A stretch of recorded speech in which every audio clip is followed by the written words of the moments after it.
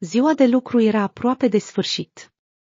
Igor Iurievici a efectuat deja două operații programate și bea ceai în biroul său.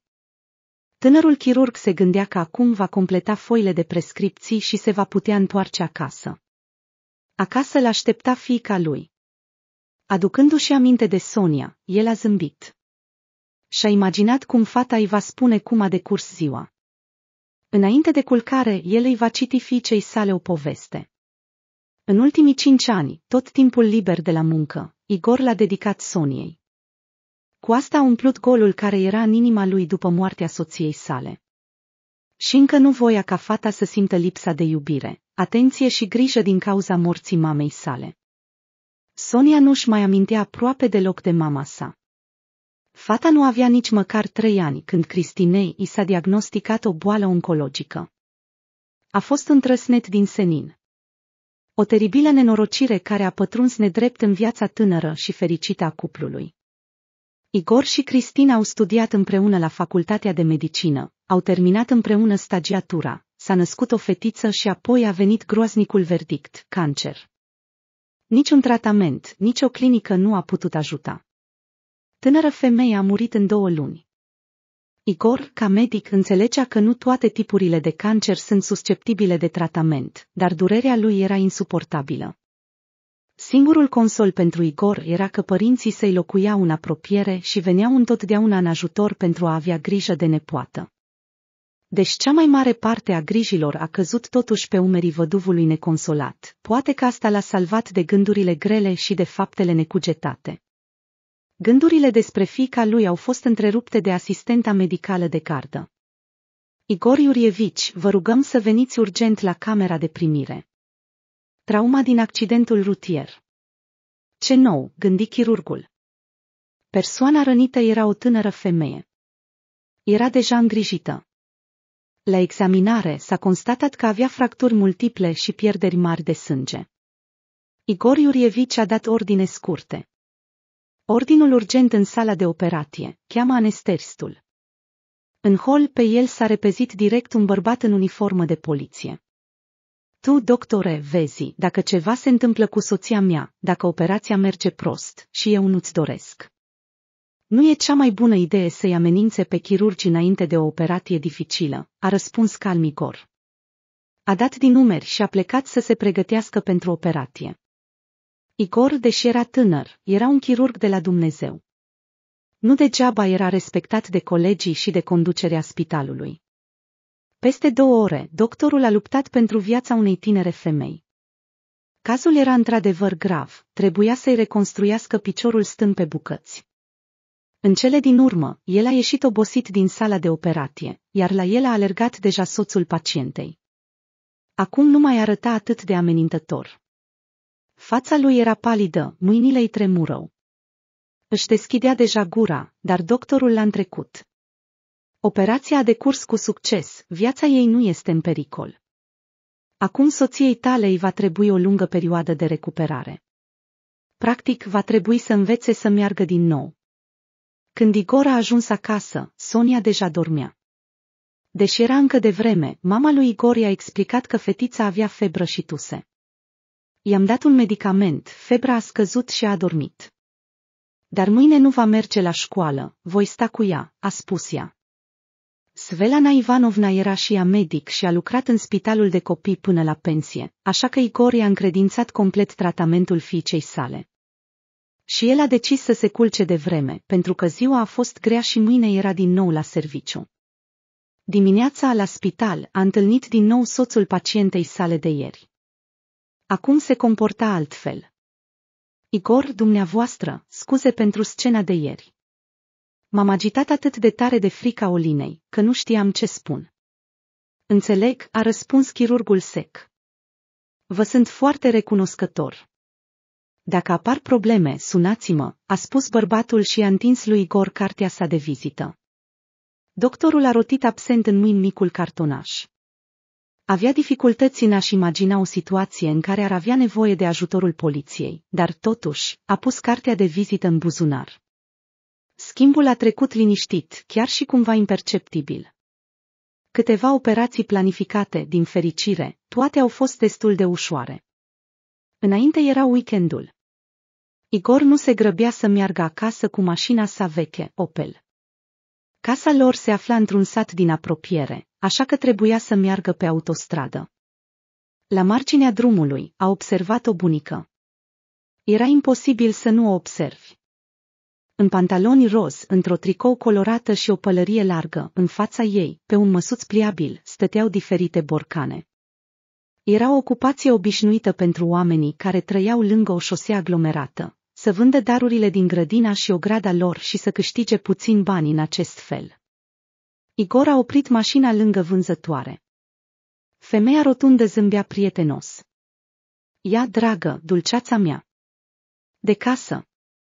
Pentru calitate și gust, răspundem. Proaspătă, gustoasă. Ce culoare vrei? Igor și-a amintit de copilărie, când era bolnav. Bunica lui eluda întotdeauna cu ceai cu dulceață de căpșuni. Era cel mai gustos tratament, așa că a cumpărat o borcan de dulceață de căpșuni pentru fiica lui. În curând, bărbatul și-a parcat mașina lângă casa lui și a urcat repede la etajul 3. Svelana Ivanovna i-a dat imediat veștile bune. Sonia ei este mai bine. Iată-o cu bunicul ei, construiesc un set Lego, dar Tusia încă este puternică. Mami, pune ceainicul. Acum vom bea toți împreună ceai cu dulceață. Dulceața s-a dovedit a fi bună, văscoasă și aromată. Sonică, tatăl tău, ce faceți acolo? Veniți să bem ceai. După aceea, toată familia a stat în bucătărie și a băut ceai cu dulceață de căpșuni. Au vorbit puțin și în curând părinții lui Igor au început să se pregătească să plece acasă. Căsuțele au fost deja strânse de pe masă. Bărbatul se pregătea să închidă borcanul și a văzut ceva care l-a lăsat fără grai pentru o clipă. Pe partea interioară a capacului, scrisă cu o linie curbă și neclară, ca și cum ar fi scrisă în grabă, era un singur cuvânt, ajutor. Ce înseamnă asta? A murmurat Igor pentru el. A examinat cu atenție capacul din toate părțile, ca și cum ar fi încercat să găsească o pistă, dar nu a găsit nimic suspect. Poate că este o glumă stupidă a cuiva.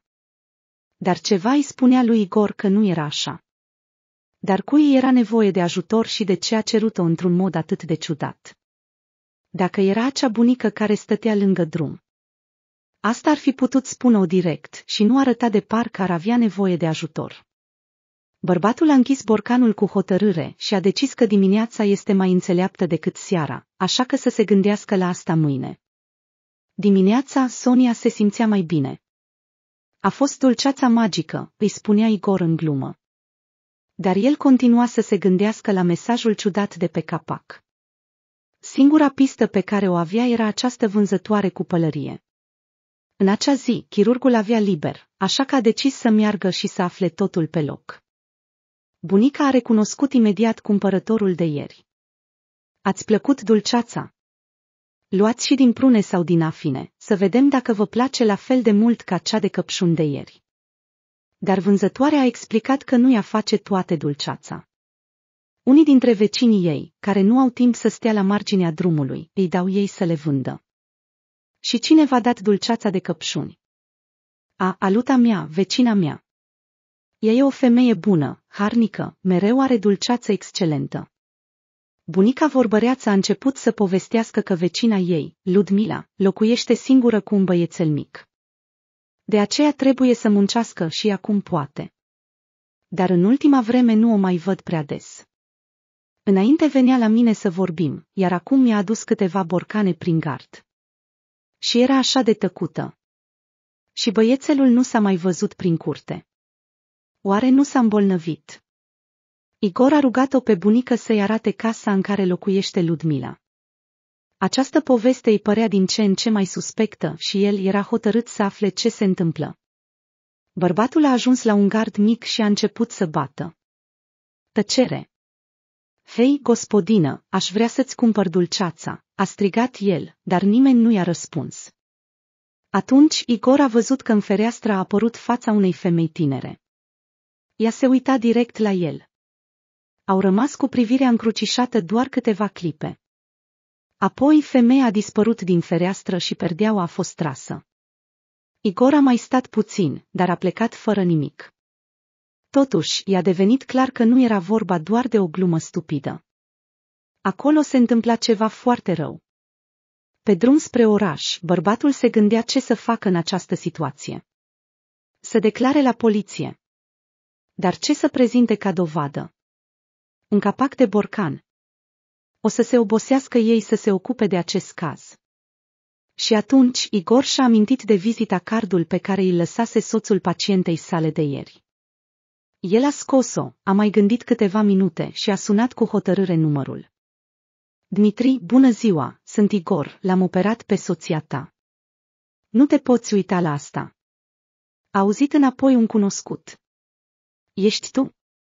Mi-ai oferit ajutor în caz de nevoie și iată că am nevoie de el. Igor i-a descris pe scurt situația. Pentru o vreme a fost tăcere în receptor. Se pare că Dmitri se gândea la ceea ce a auzit. În cele din urmă, a răspuns, cred că faci o prostie. Dar Igor a adăugat, dar tu însuți ai spus că datornicului meu nu-i trebuie decât să mergi și să verifici dacă totul este în regulă. Bine, dăm numărul. În cele din urmă, a fost de acord polițistul. Au trecut câteva zile fără știri de la Dmitri. Igor începuse deja să se gândească dacă a procedat corect. Poate ar fi trebuit să depună o plângere oficială la poliție, atunci ar fi fost obligat să efectueze o anchetă. Așa că totul era neclar și era neplăcut să-l deranjeze pe om. Igor a încercat să se deconecteze de la această problemă, umplându-și gândurile cu muncă și cu Sonia, care se recupera. Și iată că în sfârșit a sunat telefonul de la Dmitri. Igor l-a ridicat imediat. Ești un adevărat îngerpăzitor. Vocea polițistului suna extrem de mulțumită. Ai avut dreptate. În casa acelei fete cu gem se ascundea un infractor în fuga de justiție. Un evadat foarte periculos, îl avem. Acum întregul departament își bate capul cum să-l prindă. Am auzit. Știu că te-au promis o promovare și o primă bună. Sunt fericit pentru tine, a răspuns Igor. Și mai e ceva. Ludmila e hotărâtă să-și vadă salvatorul. Poți cumva să treci pe la ea pentru mine. Cu siguranță, a decis Igor. În același zi s-a îndreptat spre adresa cunoscută. Auzind sunetul mașinii care se apropia, Ludmila a ieșit imediat din casă. Bună ziua! Mă salvați de moarte și nici măcar nu știu cum vă numiți. Igor mă numesc. Da, nu am făcut nimic deosebit, a răspuns bărbatul, stânjenit. Nu fi modest. Aveam foarte puține speranțe ca cineva să cumpere gemul, să citească inscripția și să nu-l arunce la gunoi, crezând că e o glumă stupidă. Și cum ai reușit să convingi poliția să vină? Nici măcar nu-mi pot imagina. Și Ludmila a povestit cum a ajuns în această situație. A avut ea vreodată un soț. Unul neîndemânatic. Nu era bun de nimic. Nu voia să muncească, iar dacă reușea să facă rost de bani, îi bea imediat. Mereu avea niște cunoștințe suspecte. Acum câțiva ani a murit, dar problemele de la el au rămas. Acest bandit nu a intrat pur și simplu în casa oamenilor. A căutat ceva prin toate colțurile. A spus că soțul meu decedat i-a fost dator, dar sincer, nu m-a surprins prea tare. Genadie nu se dădea înapoi de la nimic. Este foarte posibil să fi avut legături cu infractori. Dar el a căutat în zadar. Nu aveam bani în casă. Banditul a continuat căutările. A spus că nu va pleca până nu va găsi ceea ce îi aparține. În primul rând, i-a luat femeii telefonul, ca să nu poată spune nimănui. El o amenința constant pe Ludmila și nu-i permitea să iasă nicăieri. Femeia a reușit cumva să-l convingă pe bandit să-i permită să vândă vecinei sale un borcan de dulceață. Dar l-a avertizat, dacă spui cuiva măcar o vorbă, îți amintești că fiul tău este la mine. Este pur și simplu un miracol că borcanul a ajuns la tine. A încheiat emoționată povestea sa Ludmila. Bine că totul se termină cu bine. A concluzionat filosofic Igor. Tinerii au continuat să se întâlnească după aceea. Igor, în timpul liber, a început să vină la ea în casa de la țară pentru a-i ajuta pe femeia singură cu treburile casnice. Ludmila, la rândul său, a început să stea cu Sonia când Igor era de gardă. Fiul ei avea aproximativ aceeași vârstă cu fica lui Igor, iar copiii s-au împrietenit rapid. În mai, Ludmila a propus, veniți la noi cu Sonia pentru tot vara. Avem aer curat, fructe, pădure și râu aproape. Igor a acceptat cu plăcere. De aici și până la serviciu era aproape, iar fiicei îi plăcea foarte mult acolo. Dar cel mai important lucru era că el simțea că este tot mai atras de această femeie. I se dorea să fie aproape de ea. Într-o zi, Ludmila l-a rugat să-i ajute la o reparație mică într-una din camere. A descoperit o placă în podea care se desprinsese și trebuia să fie pusă la loc. Bărbatul a fost de acord imediat. Dar de îndată ce a tras de placa înclinată, aceasta s-a rupt în două și, deschizând nișa din podea, Igor a chemat-o imediat pe stăpâna casei și i-a arătat descoperirea sa. În nișă au văzut un sac din pânză, iar din prima vedere se vedea că era ceva greu în el. Se pare că asta căuta oaspetele tău nepoftit. Igor a spus gânditor. Aș evita să-l ating. Cine știe ce ar putea ascunde infractorii? Trebuie să depunem o plângere la poliție. Ludmila a răspuns. Am o idee mai bună.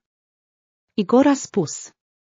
A sunat la numărul deja cunoscut al lui Dmitri și a povestit despre descoperirea ciudată. O echipă de polițiști condusă de Dmitri a sosit destul de repede și a scos cu grijă sacul de sub podea. Când a fost desfăcută sfoara care strângea gura sacului, toți cei prezenți au suspinat în același timp. Felicitări, domnilor, ați descoperit un adevărat tezaur. Dmitri a șoptit. Sacul era plin până la refuz cu aur, și nu cu monede sau lingouri, ci cu nestemate nerafinate.